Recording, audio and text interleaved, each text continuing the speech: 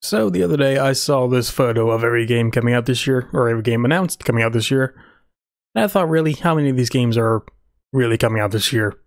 I wondered how many would be delayed until next year. And then I started thinking, what else would happen this year? Then I thought, why not do a predictions for 2022 in the year of video games? What? And I thought, why not do a video game prediction for the year 2022? Because I was bored. So going off the games I think might be delayed this year, God of War to next year.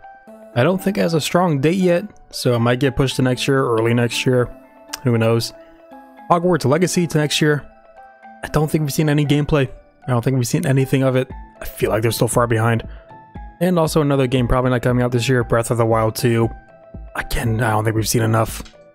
And now for some, not delays, but predictions I think will come this year. I think it's been rumored there, there's a new Bioshock game in production. I think we will see a new teaser sometime this year for it.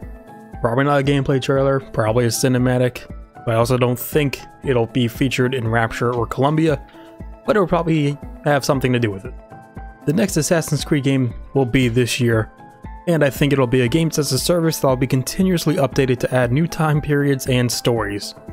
I just feel like they can make a great Assassin's Creed game where they just add in DLCs or expansions that are just new areas you can have so many different time periods, so many different characters.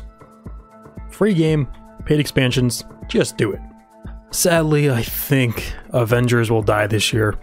They've had four expansion. They've had three expansions plus another one for PlayStation. I don't think it's enough. I think people have moved on. I don't think there's a player base for it. So I think by the end of the year, Square Enix will announce support will end for Avengers. I believe Sony will announce at least two new movie projects in development that are based on PlayStation games. Uncharted coming out soon, maybe in a month, I think.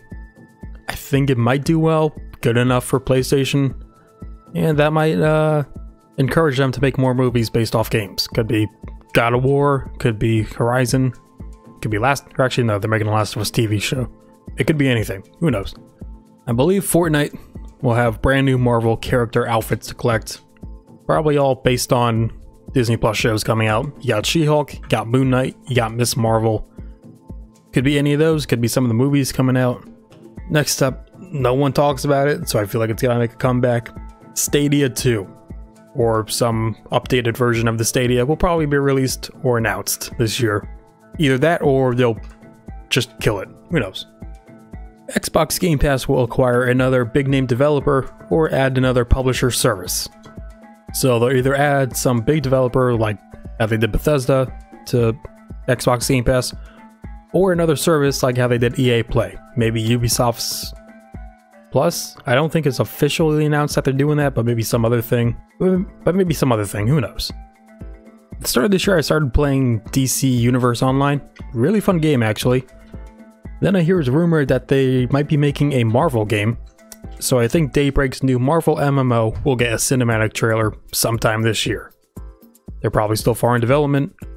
Cinematic, they could probably do quickly, show us what the game will be about. Excited for that game if it actually exists. I think Oscar Isaac will make some appearance at some gaming event. Probably something with Jeff Keighley, because he likes to get celebrities in time to time. Oscar Isaac, he's pretty big right now. You know, he was in the Star Wars new trilogy, he was in Dune, he'll be in Moon Knight, He's, I think he's voicing Spider-Man 2099 in Spider-Verse. He's big right now. And usually at the Game Awards or Summer Game Fest, they have celebrities come on to like do announcements or give out awards.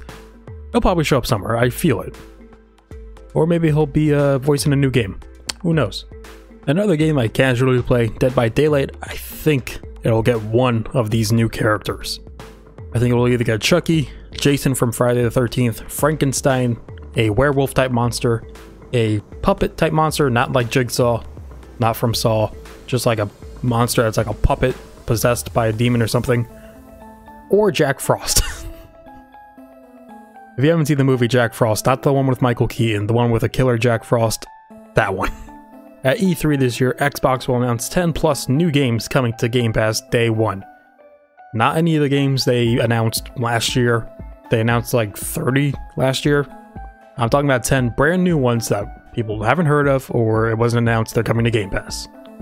And speaking of Game Pass, I believe Starfield will be Game Pass's biggest seller ever. I think right now it's Forza. I'm talking about like player base, like how many players played it from Game Pass. I feel like Starfield might surpass everything. At the Game Awards, I believe at least half of the Game of the Year nominees will be console exclusive games. Whether it be PlayStation exclusives or Xbox exclusives, I feel like this year's has a lot of exclusives coming out. And I think they usually do six, so maybe at least three of those games will be exclusives.